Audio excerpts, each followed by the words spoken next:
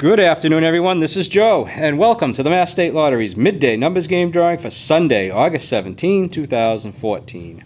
Don't forget, you can watch all of our drawings here on masslottery.com. And now, let's check out those winning numbers. 8, 1, 7, 2. Once again, the winning midday numbers for Sunday, August 17th are 8, 1, 7, 2. We'll see you tonight for the evening numbers game and mass cash drawings. Good luck!